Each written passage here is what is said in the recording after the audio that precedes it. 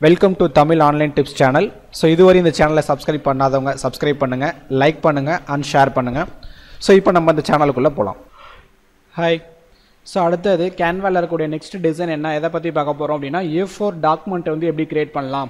For example ஒரு annual report எப்படி ready பண்ணுறது இல்லை ஒரு கம்பெனி ப்ரொஃபைல் எப்படி ரெடி பண்ணுறது ஒரு மேகசின் மாதிரி ஒரு புக்ஸ் வந்து எப்படி ரெடி பண்ணுறது ஸோ இந்த மாதிரி நிறையா ஆப்ஷன்ஸ் எல்லாத்துக்கும் யூஸ் பண்ணக்கூடியது அந்த ஏ ஃபோர் டாக்குமெண்ட் அப்படிங்கிறது.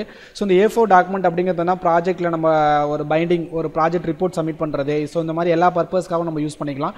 ஸோ இல்லை ஒர்க்கிங் ஏரியா அப்படிங்கிறத பார்த்தீங்க அப்படின்னா இந்த ஒயிட் கலரில் இருக்கக்கூடிய ஒர்க்கிங் ஏரியா தான். ஸோ இதுக்குள்ளே தான் நம்மளால் டைப் பண்ணிக்க முடியும்.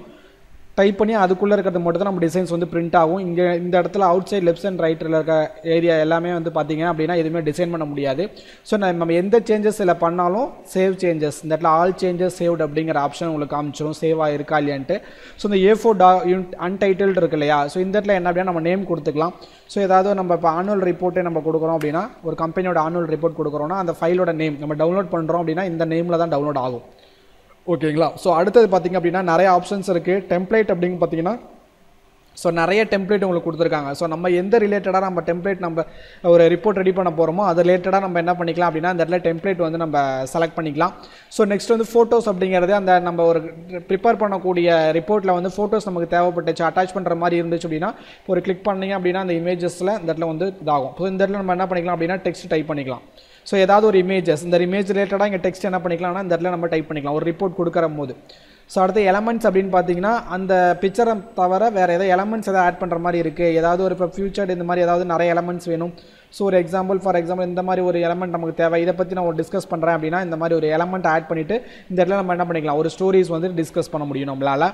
ஸோ அடுத்து டெக்ஸ்ட் அப்படிங்கிறது அதில் ஆல்ரெடி டெக்ஸ்ட்டு அந்த டெம்ப்ளேட்டில் ஒவ்வொரு டெம்ப்ளேட்லையும் கொடுத்துருப்பாங்க. அதை தவிர நமக்கு வேறு எக்ஸ்ட்ரா நமக்கு தேவைப்பட்டுச்சு அப்படின்னா ஸோ இந்த மாதிரி ஆடு ஹெட்டிங் ஆடு சப் ஹெட்டிங் இந்த மாதிரி ஆப்ஷன்ஸ்லாம் இருக்குது இங்கே ஃப்ரண்ட் காம்பினேஷன்ஸ் நிறைய இருக்குது ஸோ இந்த நிறைய காம்பினேஷன்ஸில் எது நமக்கு சூட்டபுளாக இருக்குமோ ஸோ இப்போ செலக்ட் பண்ணி இந்த இடத்துல கிளிக் பண்ணோம் அப்படின்னா இந்த இடத்துல உங்களுக்கு ஜஸ்ட் இந்த இடத்துல கிளிக் பண்ணிங்கன்னா போதும். அது மேலே வந்து உங்களுக்கு என்ன ஆகும் அப்படின்னா டிஸ்பிளே ஆயிரும். ஜஸ்ட் அதை வந்து ஒரு கிளிக் பண்ணி எரேஸ் பண்ணிட்டு நமக்கு தேவையானதை நம்ம டைப் பண்ணிக்கலாம்.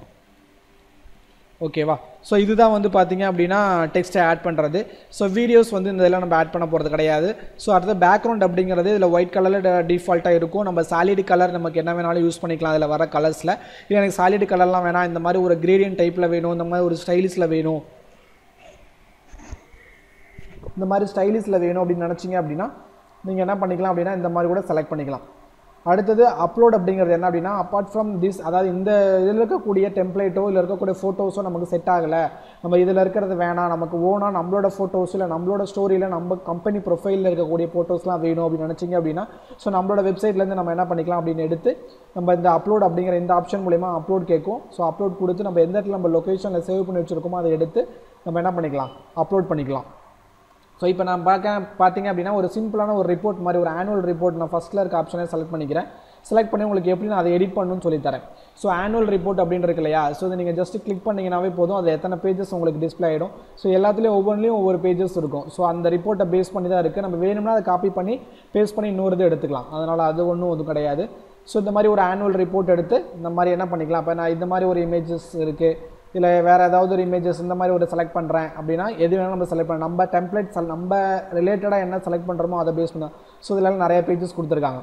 ஸோ ஃபஸ்ட் என்ன பண்ணுறேன் அப்படின்னா இந்த ஆனுவல் ரிப்போர்ட் நான் ரெடி பண்ணுறேன்னா இந்த மாதிரி ஒரு டெம்ப்ளேட் எடுத்துக்கிறேன். இல்லை எனக்கு ஃபஸ்ட் பேஜ் இப்படி தான் இருக்குது இப்போ இந்த இடத்துல என்ன வேணும் அப்படின்னா ஏதோ ஒரு கம்பெனி நேம் இப்போ வந்து பார்த்தீங்கன்னா இப்போ என்னென்னா இன்ஃபோசிஸ் இல்லை விப்ரோ இந்த மாதிரி ஏதாவது நம்ம கம்பெனி இருக்குது அப்படின்னா நம்ம கம்பெனியோட ரிப்போர்ட்டு விப்ரோ ப்ரைவேட் லிமிடெட் அப்படின்னு போட்டு சென்னை இந்த மாதிரி கொடுத்துருங்க. ஸோ ஆனுவல் ரிப்போர்ட் எந்த ஆனுவல் ரிப்போர்ட் இப்போ நான் டுவெண்ட்டி டுவெண்ட்டி ஃபைவ் இந்த மாதிரி ஏதாவது இயர் கொடுத்துக்கிறேன். ஸோ அந்த இயரில் எனக்கு இந்த கலர்ஸ் வேணாம் அப்படின்னா இந்த டெம்ப்ளேட்டை கிளிக் பண்ணிங்கனாவே இந்த கலர் உங்களுக்கு மாறிடும். ஸோ எனக்கு இந்த மாதிரி ப்ளூவாக இருந்தால் நல்லாயிருக்கும் அப்படின்னா ஓகே இந்த மாதிரி செலக்ட் பண்ணிக்கங்க. ஸோ எனக்கு இந்த இமேஜஸ் வேணாம். வேறு ஏதாவது ஒரு இமேஜஸ் வேணும்னா அந்த ஃபோட்டோஸில் போய்ட்டு என்ன பண்ணலாம்? இமேஜஸ் எடுத்துக்கலாம். ஸோ நிறைய இமேஜஸ் இருக்குது நம்ம எந்த இமேஜஸ் வேணால் எடுத்துக்கலாம். நான் என்ன பண்ணுறேன் அப்படின்னா கம்பெனி அப்படின்னு சொல்லிட்டு ஏதாவது ஒரு இமேஜஸ் நான் இப்போதைக்கு சர்ச் பண்ணி நான் ஜஸ்ட் ஒரு இது பண்ணுறேன் இந்த மாதிரி ஏதாவது ஒன்று ஓகேவா ஸோ நம்ம கம்பெனி ரிலேட்டடாக எதாவது நான் இந்த மாதிரி எடுத்துக்கலாம். ஸோ இந்த இடத்துல வந்து பார்த்திங்கன்னா நம்மளோட அட்ரஸாக இருக்கும். இல்லை customer care number one eight double zero one one zero zero இந்த மாதிரி கொடுத்துக்கலாம். Version one forty four point six five so இந்த மாதிரி எது வேணால் கொடுத்துக்கலாம். ஸோ இது வந்து ஃபஸ்ட் நம்மளோட கூட ஃப்ரண்ட் பேஜ் நம்ம ஃபஸ்ட் பேஜ் ஆனுவல் ரிப்போர்ட்டில் கூட ஃபஸ்ட் பேஜ் ஸோ இதில் நிறைய டெக்ஸ்ட் ஆட் பண்ணால் கச்ச கச்சன் இருக்கிற மாதிரி இருக்கும். ஸோ அதனால் நான் கம்மியாக ஆட் பண்ணிக்கிட்டேன். ஸோ அடுத்து செகண்ட் பேஜ் அப்படின்னு எடுத்துக்கிட்டிங்க அப்படின்னா செகண்ட் பேஜில் என்ன ஆகும்னா ஆட் நியூ பேஜ் கொடுத்து இந்த இடத்துல நினைக்கலாம் செகண்ட் பேஜ் கொடுத்துங்க இந்த இடத்துல செகண்ட் பேஜில் அதே மாதிரி நம்ம என்ன பண்ணுறோம் அப்படின்னா எந்த இயர் கொடுத்துருக்கோமோ அதை மாற்றிக்கலாம் மாற்றிட்டு பேஜ் டூ அப்படின்னு வந்துருச்சு. கம்பெனி ப்ரொஃபைல் ஸோ நான் ஃபார் எக்ஸாம்பிள் நான் ஏதாவது என்ன பண்ணுறேன் இப்போ இந்த ஒரு கண்டென்ட் எடுத்து நான் காப்பி பண்ணி இந்த இடத்துல ஒரு பேஸ் பண்ணிக்கிறேன். இப்போதைக்கு ஒரு எங்களா எக்ஸாம்பிள்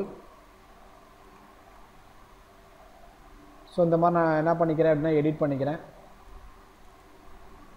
நமக்கு வேணுங்கிற டெக்ஸ்ட்டு நம்ம அதில் எவ்வளோ வேணுமோ அந்த டெக்ஸ்ட் நம்ம என்ன பண்ணிக்கலாம்? ஆட் பண்ணிக்கலாம்.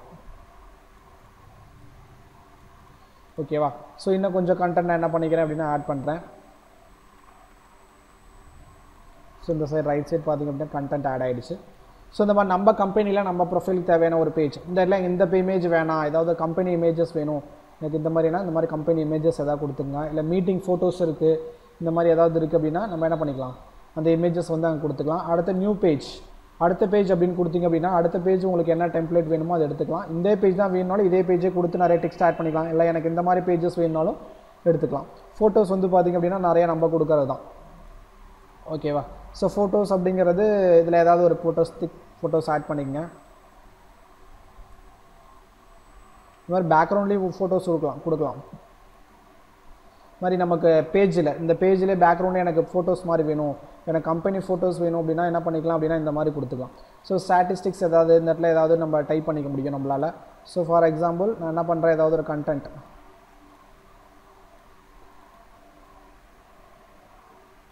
இந்த மாதிரி காப்பி பண்ணி நான் பேஸ்ட் பண்ணிக்கிட்டேன். ஸோ எனக்கு மற்ற கண்டென்ட்லாம் வேணாம் அப்படின்னா டெலிட் பண்ணிக்கலாம். இது மட்டும் போதும். கம்பெனி ஸ்டாட்டிஸ்டிக்ஸ் ஸோ இந்த மாதிரி வந்து பார்த்திங்க அப்படின்னா எவ்வளோ பேஜஸ் வேணாலும் நம்ம ஆட் பண்ணிக்க முடியும். சேவ் பண்ணும்போது பார்த்திங்க அப்படின்னா டவுன்லோட் அப்படின்னு கொடுத்து நம்ம என்ன ஃபார்மெட்டில் வேணும்? இப்போ எனக்கு பிடிஎஃபில் வேணும் அப்படின்னா பிடிஎஃப் ஸ்டாண்டர்டில் கொடுத்து டவுன்லோட் அப்படின்னு கொடுத்தீங்க அப்படின்னா அந்த பேஜஸ் எல்லாமே உங்களுக்கு என்ன ஆகும் அப்படின்னா பிடிஎஃபாக உங்களுக்கு டவுன்லோட் ஆகிடும் இல்லை ஜேபக்காக கொடுத்தீங்கன்னா என்னென்ன பேஜ் நம்ம கொடுத்துருக்கோமோ அத்தனை பேஜ் ஜேபக்காக நமக்கு டிஸ்பிளே ஆகிடும் ஓகேவா இப்போ நான் வந்து டிஸ் டவுன்லோட் ஆகிடுச்சு டவுன்லோட் ஆன உங்களுக்கு ஓப்பன் பண்ணி காமிக்கிறேன். இப்போ நான் டிசைன் பண்ண பண்ண அந்த ஒரு ஆனுவல் ரிப்போர்ட் ஜஸ்ட் இதுதான் நம்ம டிசைன் பண்ண ஆனுவல் ரிப்போர்ட்டு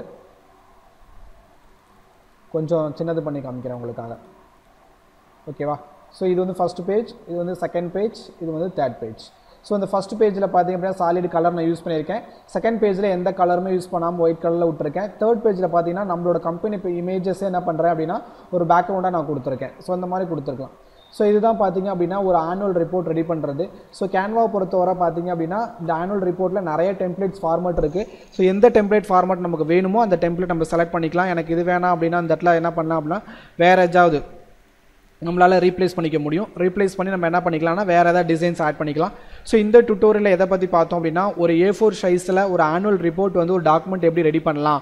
ஒரு டாக்குமெண்ட் அதில் எப்படிலாம் ஆப்ஷன்ஸ் இருக்குது என்ன நிறைய டெம்ப்ளேட்ஸ் இருக்குங்கிறத பற்றி பார்த்தோம். ஸோ நெக்ஸ்ட் டுட்டோரியலில் பார்த்தோம் அப்படின்னா அடுத்து என்னென்ன டிசைன்ஸ் இருக்குது அதில் எப்படிலாம் நம்ம யூஸ் பண்ணுறாங்க என்ன டாக்குமெண்ட் நம்ம டிசைன் பண்ண போகிறாங்க அப்படிங்கிறத பற்றி நெக்ஸ்ட் டுட்டோரியல் டிஸ்கஸ் பண்ணுவோம். Thank you